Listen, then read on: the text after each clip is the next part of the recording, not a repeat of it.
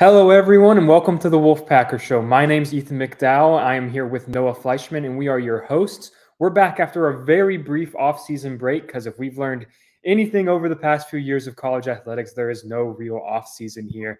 Today, it's going to be all portal talk. We're going to talk about transfer portal updates for men's and women's basketball and football because the portal closes today, technically. So it's it's starting to wrap up. We're starting to get a little more of a clearer picture on what both basketball teams are going to look like. Football, still a little bit of a mystery, but we've got some info for you there too. So before we dive into everything happening around the Wolfpack, um, just a quick note that we're both writers for the Wolfpacker.com. That is NC State site on the On3 network, the fastest growing college um, football and men's and women's basketball um, website out there right now. On3 just launched a women's basketball and women's sports vertical. So go check that out if you're looking for some women's basketball transfer portal updates. Um, and we're going to talk about that today as well. So we're ready to get all into it. Go subscribe there. It is only $1 to join the site right now for your first month. It does not get cheaper than that. Um, and you get access to our premium transfer portal scoops. Um, there's stuff that we're not going to be able to talk about on the free YouTube platform necessarily, but we're posting about it on the website. So go check it out, see who NC State's trending for, see who's trending elsewhere. We've got it all there right now. And um, once these kids commit, we have team analysis going up. We have interviews with these recruits. So just keep, you know, stay tuned on the wolfpacker.com. Go subscribe. It's only $1. Go check it out. And um, we'll see you there. All right, Noah, let's talk NC State men's basketball transfer portal. We'll start off with the men's team because they've been the busiest in the transfer portal so far. Um, so far, let me count four additions so far for men's basketball, one open scholarship left. Let's lead off. You know, actually, no. Let, us talk about um, the the most recent visitor. Um, we we've been talking about how they're going to fill this last scholarship after um, Mo departure, which we will discuss further. Um, they needed a forward, right? You've spent the past week on the site discussing possible forward names, and one that has emerged is Ezra Ausar, a sophomore from East Carolina, so right down the road in Greenville. And um, Noah, I want you to give me the scouting report on Ezra, who um, was on campus this week for a visit. Yeah, you know, he told me he was really interested in NC State um, earlier this week and, and was on campus um, shortly after. And it's an interesting guy. Um, you know, he's not the size of of Mo Diarra. He's not that 6'10, 6'11 guy that's going to rebound the basketball and get 12, 13 rebounds a game. But he's a good fit, I think, for NC State and what they're going to want to do going in next year. Um, you know, when you look at, at Ausar as a, as a whole, you know, he's 6'8, 247. So he's big, just not tall. He can play and play well. He averaged 11.4 points and, and 4.7 rebounds this past season at East Carolina playing mostly in the center spot, but at NC State, if he were to commit, um, I think it, it, would be more of a four, more of that power forward spot, playing alongside Brandon Huntley Hatfield, playing alongside Ben Rotherbrooks, kind of doing that, but also can play the five if they want to go small and have one forward on the court and go four guards with a couple wings. I, I think that would look cool too. Um, but he's a guy who shot well from the floor, 51.4% last year. Expanding his game with a three pointer, he made six this past season, didn't make any his freshman year. So he's starting to expand. I think if NC State can continue to develop that, if he commits, I think that would make them him a really dynamic player. Um, but it seems like NC State is focused in on the Saw right now, bringing him on campus for a visit with one scholarship left. But there are other options out there. Um, we'll see what they end up deciding to do with him. But I wouldn't be surprised if we see commitment from him sooner than later you know, our on threes, Jamie Shaw already has an RPM pick in for him to go to NC State. So it would be a good fit. And, and I think that it would fill out the roster well, give them options and things they want to do. But if he doesn't commit, Brandon Gardner from USC dropped the top six yesterday and put NC State in it as well. Don't know how much interest there really is between the two, but he would be a good um, backup option if Ausar left campus uncommitted. Yeah. So what we're going to do with um, all of these um, transfer additions, and um, we'll do it for Ausar too because, um, like we like Noah said, improvement right now. I think we're pretty. Uh, we haven't put in an RPM pick yet, but Jamie does, and um, you know Jamie's one of the best in the business. So there was positive buzz going into this visit. Um, I don't think anything's changed there. So we'll see what happens. But what we're going to do for all of these guys is we're just going to look at the role they could fill. Um, you know, you already touched on it with Ezra, but yeah, I think he, will be that power forward guy. He'll bring energy. He'll bring some scoring punch too. I mean, in in the um in his conference tournament this year, he had a 28 and 10 game where he hit 10 of 12 shots and went off. So like you, you know, he's an efficient player, hits over 50% of his shots. Um so he's not someone that's like you know, some mid-major guys you'll bring them in and they're just like you know, their shooting percentage will be at like 38 because they have to. They have to carry that offensive load. They have to be looking for their shot all the time. Um, it's not not the case with Ezra. He's efficient player. Um, he's shown the ability to pile up um, the rebounds. It if you look at like his game log for the season, it's kind of just up and down. He'll have games with one rebound. He'll have games with nine. So just a little up and down. But I think, yeah, is part of that front court rotation is you know replacing that Modiar Mo Diarra's spot in the rotation. I think he's someone that could fill that role. I think he'd be someone that Wolfpack fans should be excited about. So that's something to keep an eye on um, moving forward here. All right, let's move on to. We're going to go through all the commits now, the folks that have actually officially joined the program. Um, and we're going to start with Brandon Huntley Hatfield, a junior from Louisville. He was the first portal commit to, um, you know, make, make the call. And um, NC State ended his season this March, and um, now they're going to. Um, and he was very quickly the first um, portal target that um, they kind of zeroed in on. He committed during um, the Final Four run. So let's talk about Brandon Noah. 12.9 points per game, 8.4 rebounds per game. Um, just, I think, a really, really solid center who started his season, his career at Tennessee, spent the past two years at Louisville, and has just steadily improved each of those years, right? Um, to the point where he was uh, arguably Louisville's best player last year. Um, definitely one of them. So really, really big addition in my eyes. He's 6'10", 240. So literally, he's a big addition as well. He's um, going to replace um, you know DJ Burns in the middle of that um, of that offense. So Noah, wh- what do you see Brandon doing with the pack? How, how do you see him fitting into um, NC State's kind of rotation here? Yeah, I think he's going to be the starting center. I mean, when you look at what he's been able to do, he, he, I, I, would say he was Louisville's best player. And it's not the fact he was scoring 20 points a game. Skyy Clark, you know, dropped over 30 on NC State in the ACC tournament. He was most consistent. And on a team that wasn't great, last place in the ACC, he was able to be consistent, almost average a double double, and, and played really, really well, especially against NC State on um, both times at Louisville and then in the ACC tournament. So the Wolfpack got a up close seat of what he can do and thought, you know what, he'll fit well. This is a guy who, yes, he played at Louisville, but in the portal, Ethan, his top four schools were Pitt, NC State, UConn, and a return to Louisville. UConn, the team that won the national title two years in a row, is interested in this guy. So I think that's that's all I need to know about what he can do. He's a really highly touted guy coming out of high school, top thirty class, um, top thirty player in the 2021 class.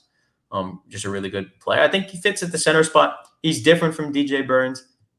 He's more of a traditional center, something that Kevin Keatts I think, wanted to get back to. Because Keatts kind of talked about the final four of the assistants go, like, we need to go find a DJ Burns. He's like, no, no, no.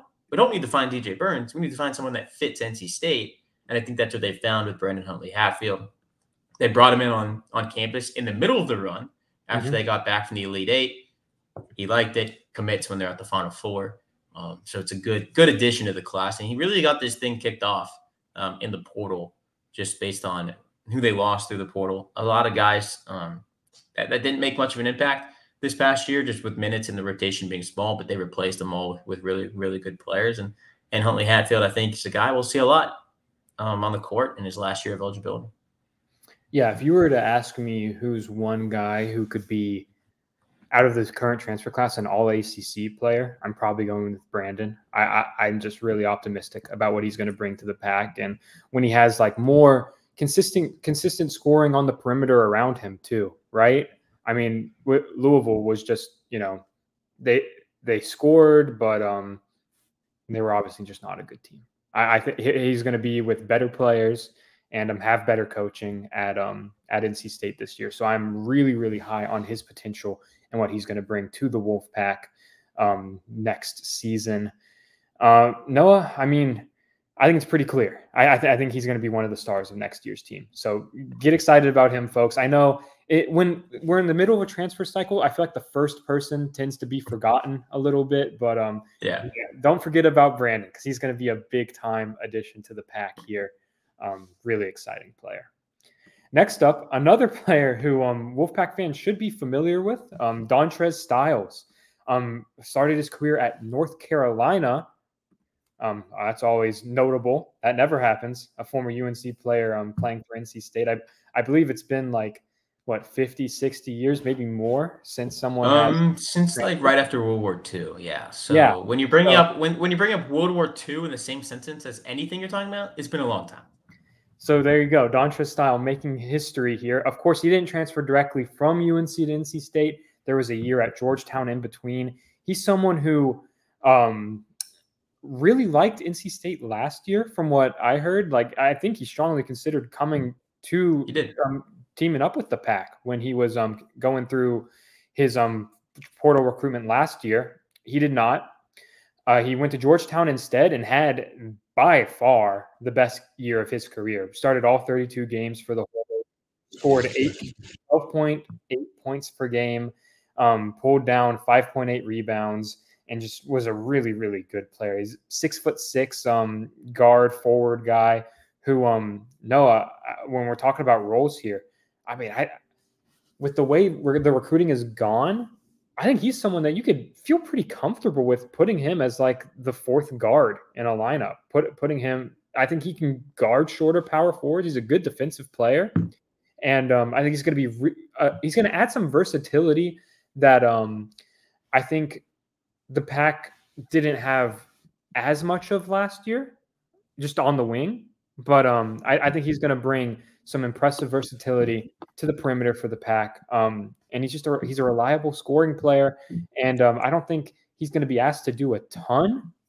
Like you're not going to have to have him as your like primary ball handler. You're not going to have him as your creator, but uh, he can knock down shots, right? Thirty six point eight percent from three um, just a productive player overall. 43% overall from the field. That's efficient for a guard. So I, am I'm excited to see what he looks like for NC State. Um, Noah, uh, what, what did you think of um, Styles' addition to the pack? It's a versatile guy. He can play the three, he can play the four, and I think that's something that NC State was looking for a guy that can play both positions, especially with writing on the wall. Makes it look like we're going to go a little smaller next year go back to what they tried to do at the beginning of the year and, and, and see if it works again um, this year. And yeah, he he does every he doesn't do one thing spectacularly great, but he does everything well. And I think that's what mm-hmm. makes him such a versatile guy. He can shoot the three, as you said, just under 37%. He shot 47.4% inside the arc this past year at Georgetown. He can get to the hoop. He can make things happen. He can rebound really, really well as well. He had a you know a rebounding offensive rebounding percentage of 7.3 which was third highest at Georgetown this past year. So he can he can rebound on both ends of the floor as well. Um, just really versatile at 6'6", 212. Um, a guy that fits the Casey Morsell role, I think, the yeah. most that they brought in. This is where we're going to see him go in. He can defend pretty well too, which is also good to see. And yeah, I mean, this is a guy who at, at Carolina couldn't really crack the rotation. You know, he averaged 1.8 points, 1.3 rebounds in his two years there.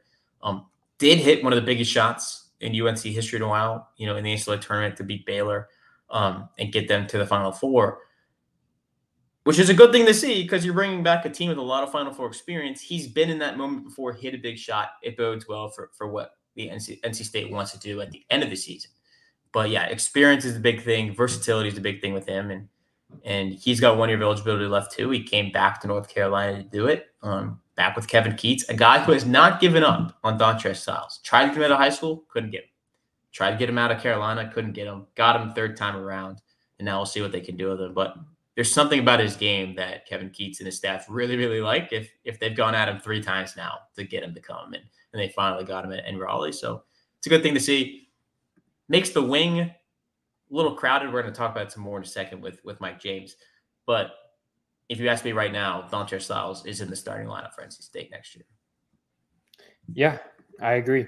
And um, you talked about like Kevin Keatts never gave up, and it seems like this time around, it was pretty cut and dry. Like the second he hit the portal, it sounded like NC State was the team for him. Um, I don't think he visited. We didn't hear about a visit. If if a visit happened, I think he, he just made the call. I think he just made the call to to commit. I mean, he's familiar with the school, familiar with campus. So um, that was um, big for um, big for the pack. Like you said, filling that Casey Morsell role and um, adding some versatility to the wing. All right, we're going to dive into the other two additions to the pack. Before we do so, um, want to say a quick thank you to our sponsor, Game Time. Game Time is a ticket buying and selling marketplace. Whether you're looking for tickets to a concert, a comedy show, um, tickets to see the Carolina Hurricanes playoff run, um, it's all on there. It's all on the Game Time app. Um, pretty much any event you want to find, you can find it on Game Time. You can find the app on any app store or on your web browser at gametime.co. That's .co, not .com. Um, my favorite thing about the app personally is it takes a um, really annoying step out of the ticket buying process because when you log on, you can see the exact view from your seat that you'd be sitting on if you bought the ticket. I'll hold it up for those watching on YouTube. You can see I have the app right here. You can see what where you'd be sitting if you bought um, this ticket in section 315 row in um, cheapest ticket right now for um, game three of the Rangers Hurricane series is $121. Uh, before we started recording, Noah and I were just talking about how we might use the Game Time app to go buy some tickets to this game. So we used it to go see um, the Hurricanes first round series. So we, we can vouch for it personally. It's easy to use, quick ticket buying process, good prices. Um, they don't like completely weigh you down with fees like other ticket buying um, services do, I think. And um, to sweeten the deal a little bit, if you do use Game Time, use code WOLFPACK, and that's all caps for WOLFPACK on, on your first purchase, and you'll get twenty dollars off. It's a great deal. Um, made it even cheaper there, and um, go check it out. Game Time is on any app store or on your web browser at gametime.co. All right, let's get back to talking transfer portal stuff here, Noah. Next up is Mike James, um, another player from Louisville. Um, I mean, they, they in, NC State is going to finish this transfer cycle with arguably Louisville's two best players because Mike James is a very, again, versatile wing player. He's a guard who um, averaged 12.6 points, five rebounds per game, um, shot you have 39.6% from the field, 34% from three, and 81.8% from the free throw line. So very, very reliable from the charity stripe. And um, Noah, I mean, we, we've been. I feel like versatility is kind of be kind of going to be the buzzword of this podcast. I think he's another really versatile guy who, um, maybe more so than Styles, will just have the ball in his hand a lot more. Not he's not a lead guard by any means, but he'll he'll have the ball in his hand a lot more. Um, definitely like a slasher who can shoot a little bit. Really exciting player. Um, Noah, what does he bring to the pack? Brings two things. One, experience. He redshirted his freshman year after tearing his Achilles. Since that year, past two years, he's made 64 straight starts at Louisville. This is a guy who's Louisville hasn't been great in either of those two years under Kenny Payne. But he's got experience of playing at the ACC level, playing against these other teams, playing in the venues, playing college basketball as a whole. He's a good player. I mean, he's averaged 33.3 minutes this past year, you know, playing really, really good basketball for them. Um, he's a guy, we'll see him at the wing. He can handle the ball a little bit. He In the last five games for Louisville, he played 50% of possessions at the wing, 36% of them at the shooting guard. So he can be that little two guard for you. He's more of a three, but he can, he can, if you want to go bigger and, and play like that. Um, but yeah, he's a guy that plays a lot. And as you said, he's a slasher. He gets to the rim. You know, he shot 34% beyond the arc this past season, but 42.6 inside the arc. Um, he can get to the rim, get a lot of free throw attempts. I mean, he led Louisville with 154 free throw attempts this past year. Um, getting to the rim, making 126 of them. Pretty, pretty efficient shooter at the line. Something that NC State lacked. And we'll talk about that in the next guy, too. This past year's getting to the line. They did a good job in the postseason. Don't get me wrong. There was games where in the in the tournament they were shooting a lot of free throws, mm-hmm. but they couldn't really find it consistently during the season at times. And the, the, portal kind of helped fill that one up. But he can score 22, double digit efforts on this past season at Louisville, including 10 straight from November to mid January. And, and, you know, what did he do against NC State? Well, he scored some points 20 points against NC State in the regular season. So we'll see what happens. But yeah, he's a guy who's good. And the only thing that I think that they would want to work with expanding his game is being more of a distributor, playing at the two guard, kind of taking some of the pressure off Michael O'Connell, who is expected to be the starting point guard next year. Whew. And you're looking at it where you're going to surround O'Connell on the perimeter with so much defensive versatility. With um, you know, Styles is six foot six, James is six foot five, Marcus Hill, um, who we're going to talk about, is six foot four. Like it's just, it's going to be tough to score on NC State. You saw the Wolfpack embrace more of a defensive mentality throughout the season, and um, I think you're going to be able to do that big time if everyone buys in. I mean, because you, you have the players to do it, you have the size to do it. It's it's it's going to be really interesting to see what the pack looks like on the defensive end of the court, in addition to everything these guys bring offensively. But yeah, Mike James, um, you know, someone Louisville really wanted to keep. Um, Louisville was recruiting him really hard, um, trying to retain him. But uh, I think you know James just really liked the Wolf Pack. He the opportunity to play again with Brandon Huntley Hatfield, I heard was you know a factor here. So um, no, Wolfpack, the coaching staff did a great job getting those two to team up in Raleigh, and um, I think they'll f- form a pretty exciting duo. Um, with our ne- next portal commit, Marcus Hill, who we've mentioned a couple times, because in terms of just pure stats, he is maybe the most impressive player they brought in at Bowling Green Last season, he averaged 20.5 points per game, five rebounds, and 2.6 assists, knocking down 44.3% of his shots, which is just awesome efficiency considering um, how many shots per game he was taking um, for Bowling Green. Um, Noah, you you have to be excited about the scoring punch he's going to bring to this team. They needed, I think, another guard who could add that. He was you know, the most recent commit for the Wolfpack. They were looking for a guard who can score in bunches, and Marcus definitely brings that, right? He does. He's going to fill that spot. I'm not saying he's DJ Horne. He's going to fill the spot of, of scoring the basketball at a high clip. You talk about scoring just over 20 points a game. Ethan, he led the.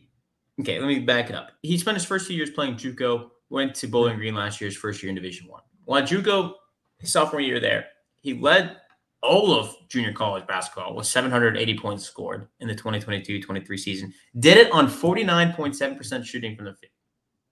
Not at a high clip from three. That's the one downside he does have. He does like to shoot the three, he told me, but he hasn't done an efficient clip at the college level. Maybe that's one thing that NC State looks to do with him. DJ Horne shot the three pretty well this year, set the single season record for the most in the season. We'll see if they can develop Marcus Hill into a three point shooter a little bit, add that to his game. But he scores the ball well. He led the MAC in total points, field goals made, and total minutes this year. He led the NCAA. He was sixth in the NCAA in field goals made, 14th in total points. He's also a guy that gets to the basket and draws a lot of fouls while doing so. You know, he shot 46% inside the arc this year. 20 he had 219 free throw attempts this past season, which is 24th most in all of division 1. Hit 162 of them, which was 37th most in D1.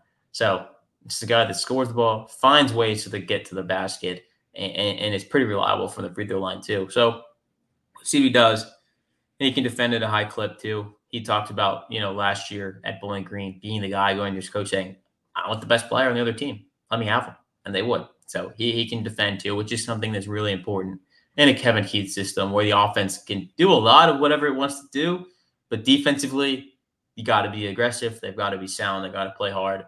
That's what Kevin Keatts wants to see. If he, if he doesn't see that, you're not going to play. And, and, Marcus Hill kind of fits both both ends of the floor for NC State. So we'll see what they do. And just developing his three point shot, I think, is the, the big key yeah. for this summer going into the season.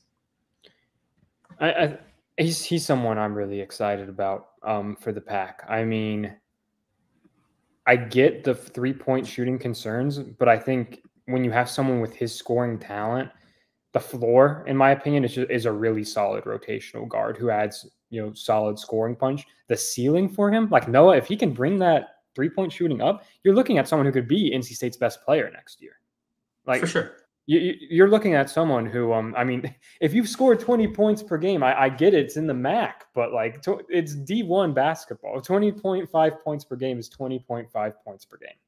So, a lot of talent here. I, am sure he's someone who had plenty of offers elsewhere. I think he could have gone to a lot of different schools. So, um, really, really big addition for the Wolfpack is someone um, the staff really likes. Um, we're gonna see how he fits into the starting lineup. I do think he will carve out a spot in the starting lineup because of you know just the fact that you he's going to be someone you're going to be able to put the ball in his hands at any moment of any game and just say go get us a bucket. And um, he's going to be that go-to like DJ Horne type guy this year, I think at least. Um, that's kind of the role that um, he will fill. All right. Um, so we've run through all of the additions. Now, Noah, let's go through really quickly and um talk through about the subtraction. Sometimes something we do on um you know the wolfpacker.com at times is like an impact analysis where we'll try to assess if someone leaving is high, low, or medium impact to next season's roster, and um uh, we try to project the future a little bit there as well. So Noah, let's run through some departures. Um, I'll try my best to do it in um, chronological chronological order here. But um, let's start with LJ Thomas. Um, you know, rotational guard off the bench, hit the portal um, before the ACC tournament run. Um, I I think he's someone that probably would have played last year, maybe a little bit more than he did with the way that you know the uh, portal has shaken out. Like it does seem like there will be some time at backup point guard to um, fill, but uh, I don't, I don't know. I, we, we can kind of include Kam Woods in this conversation too, another um, kind of like end of the bench guard who played sparingly. I don't think I'd, I'd probably classify both of them as low impact for next season. Would you agree? Yeah, you know, LJ Thomas is a guy that played at times, didn't play at times, kind of was in that weird spot Breon Pass, who's still on the team, was in where you play 10 minutes yeah. in one game, not play for five games, play six minutes, not play. Um, it just didn't work out for him. And, and he left the team just before they left for the postseason. So that that you know was unfortunate. Kam Woods though, a little different story. I feel like because mm-hmm. he didn't wasn't able to play at the beginning of the season with the yeah. NCAA waiver. They didn't they weren't able to mix him in the practice. Then he could play, so they threw him out there, and it didn't really work because he hadn't fit in with the team. It was one of those things where it just wasn't working. Mm-hmm. And maybe if he sticks around, they have an opportunity to work him into practice more. But he wanted to find another place, and and you know that maybe it was a mutual decision that I we don't know, but he's off and, and, looking for something else. But that was kind of a different. It wasn't that it was all on him. It was more of like they couldn't work him in. He was on scout team for all of the preseason and all this stuff, and all of a sudden you try to mix in a guy who, yeah, he's similar to Marcus Hill in a way. He dominated at North Carolina A&T, seventeen point five points a game there, I believe, and and played well. Just couldn't stick at NC State. Um, you know, unfortunately for him. Yeah, I mean, he was someone we were expecting the red shirt this year because he wasn't eligible. Yep. So um, uh, it was a tough season for him. Hopefully, he lands somewhere great and um, can you know get back to his um, volume scoring ways because he was really good at that before um, before his stop at NC State. Um, all right, next we'll talk about Ernest Ross. Um, on the court, I'd say um, low to moderate impact. I mean, he's someone that I, I personally really liked watching him whenever he did get in the game. Just a high energy guy. I thought made a, a lot of plays. Um, was it was it it was the Miami game where um he he had um like an awesome game against the Hurricanes and um was a huge part of that matchup. But um he he he decided to hit the portal. Um I I think he would have had a spot in the rotation. Like but it might not have been that different. Uh, correct me if I'm wrong, though, but I, I, think it kind of would have been sort of a similar role than what he to what he had this year. Yeah, being that fourth big, that there wasn't a lot of options for him. He did play in the ACC championship game, scored a basket. He only scored four points this year, I believe. But you know, he he scored a big basket there at the end of the first half when there was foul trouble with with the bigs. Went in there, got a nice dunk. Was a good way to cap. You know, he was one one of those guys. I think this is going to be more affected in the locker room than it will be on the court. Yeah. He's one of those guys that just has an infectious attitude. Really smart guy. You know, talked to him a bunch during the NCAA tournament run, and and he did a whole lot of the, the three point goggles on the bench, which you know upset Jim Boeheim at the ACC tournament. They got their last laugh on it throughout the whole postseason and things like that. But he's a, he's a guy that that did a lot of good things in the locker room and you know, one of those guys that you need on a team, right? You need the morale guy. You need the guy that's gonna that's gonna keep everybody together. And I think Ernest Ross, you know, wore that, you know, with with pretty dignity. But I will say, his guy didn't play a lot, didn't play consistent minutes, but he never appeared to really be too down when yeah. that was happening. He always seemed to have a smile on his face. He'd be out there with warm ups, just doing his thing. And I think that's something that just says a lot about his character. And we'll see where he ends up. Absolutely. And um, I, I, was thinking about the Miami game um, last season. Last year. yeah, is when he, um, in the overtime win in um, last January against the Hurricanes. Against that was when Miami was actually good, and that win was um huge for the season.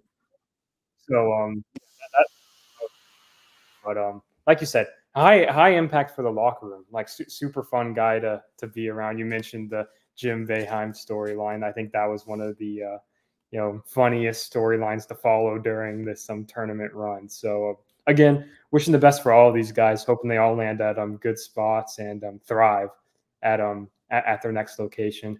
Um, the final guy we need to talk about, and unless I have missed anyone, uh, is um Mo Diarra. Um, just a obviously a massive part of the um NCAA and ACC tournament runs. I mean, he was so good my personal favorite player to watch on the team. Honestly, I thought he was just really, really incredible for most of the season. Um, he decided to pursue professional options. He declared for the um, NBA draft. Um, this is something we kind of heard a little about that might happen um, after the tournament run wrapped up. He did head home back to France, is is what I heard, and uh, you know, it's it's a difficult spot where if if he's over, um, you know, at NC State, he can't earn NIL money because of the way um, visas work, and you know he can't technically be an employee of NC State men's basketball and all, all of this sort of stuff. So he wasn't able to earn NIL money, and there's ways around that technically, but it's difficult. And um, he would have to be earning NIL money exclusively when he was in France back home. So you know, difficult situation for him. You know, makes complete sense. I mean, he, he ended his um, one season Wolfpack tenure on an extremely high note. Um, Noah, um, I think it goes without saying this is a huge impact for um, NC State. He is a hugely impactful player down the stretch of this past season, and um, he would have played a huge role in, in the upcoming year. He would have, and you know, you look at what he could do. He couldn't earn money here um, just because of the visa he was on, being a native of France and, and things like that. But he played really well in the in the tournament. You know, averaged nearly a double double, had, had multi digit rebound games in basically every game he played um, t- until the end.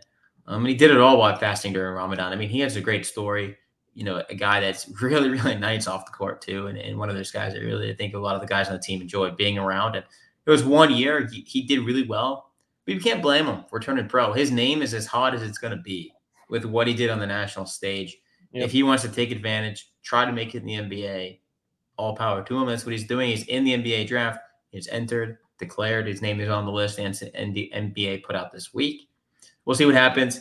Worst case scenario for him is goes back to France and plays pro ball there, and and you know, which is not a bad scenario when you're playing in Europe. So he'll be of demand in Europe if he doesn't stick in the NBA. But I, I think we'll see him in summer league at least. I think I think we'll see some teams give him a chance, see what he can do against NBA competition, and play that power forward spot and see what he can do at six ten.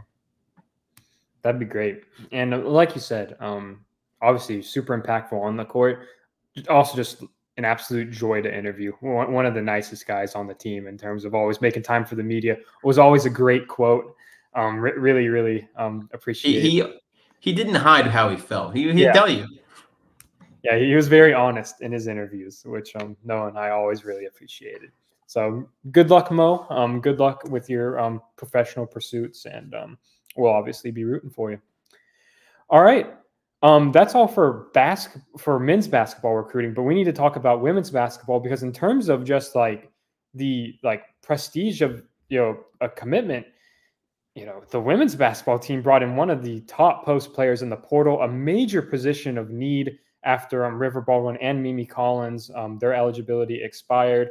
Um, Katie Peneueta is um, transferring back to Sacramento State after um, one season with the Pack. So they needed to add someone in the um, front court, and they added one, maybe the best um, best case scenario for the pack. Um, Caitlin Weimar, um, a Boston Univer- former Boston University star forward, um, six foot four, long wingspan, and just a dominant player on both ends of the court. She is the reigning Patriot League Player of the Year overall and Defensive Player of the Year.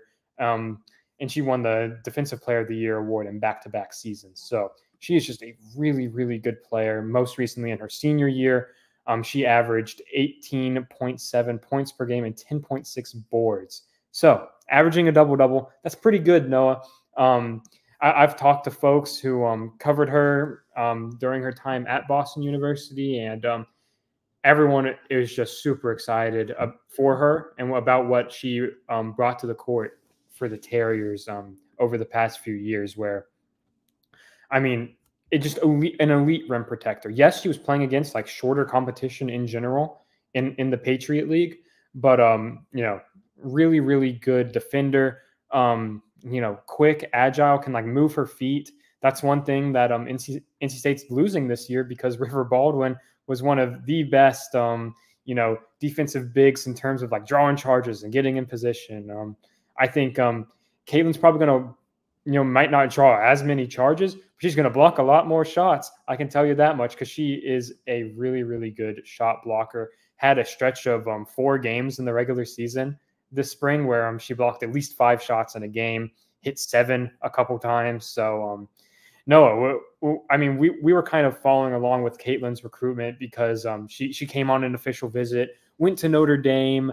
Um, you know, there was concern maybe she might end up with the Irish, but she committed to the pack. Um, this is huge. This is huge news for the Wolfpack. Big addition. I think, you know, we could say it now. She'll probably start in River Baldwin's spot. You know, yeah. bring her in. She's got one year of eligibility left and, and, and, playing at a high level that she did. Um, she proves she can play college basketball. We talk about, you know, transferring up and bigger step in competition. The ACC being probably one of the best women's basketball, probably the best now that, you know, we can just say it. Like, you know, when you add yeah. Stanford and, you know, a team like that into the mix. Um, it's gonna be tough, but I, I don't think it's gonna be too big of a challenge. You know, she's an elite player playing in a small school. I think you put an elite player at a, at a program that that's an elite program, it, it, will help. Um, but yeah, she plays really well defensively, which NC State needs out of the post because of how well the guards get out and run and transition. And you know, if you get your post player blocking shots and getting the ball right too, and Aziaha James, Saniya Rivers, or Zoe Brooks, not even counting like Zamareya Jones or anybody like that, like this team's looking really good, Ethan. And I think that you know Caitlin Weimar is a, is a good spot to that start, you know, for Wes Moore's, you know, portal and like, man, this team, Final Four team a year ago. I'm just gonna say now, I don't think they're gonna start the year unranked like they did this past season, and uh, probably a top five team going into the year. Yeah, I mean, you bring the entire backcourt back. You add um Zamareya, who's a five star, top 20 recruit in the country, McDonald's All American. And um, the expectations are going to be high. And I thought they really needed to add someone who could be a difference maker in the post. And Caitlin can be exactly that. Um, um, one of my close friends um, and former colleagues, his name's Ethan Fuller. He works at the Boston Globe up in Boston. Did a film study with Caitlin during her uh, Boston University career, actually. So um, I called him up just to ask, like, what is she going to bring? And of course, effusively praised her defense, but um, offensively, um, you know, I think she's she she's not just like going to come in and just protect the rim, and she's going to you can run the offense through her at times. I think she's going to fill Rivers' um, role in a kind of a similar way, where um, sometimes when the offense would stagnate and the guards just couldn't get anything going, they would just hey, let's just give it to River Baldwin for a few straight post ups and see what happens. And um, I think um, Caitlin's going to be able to do the exact same thing in Raleigh. I, am really optimistic about what she's going to bring in the post. She knocked down 55.3% of her field goals um, in her senior season. So, um, an efficient player.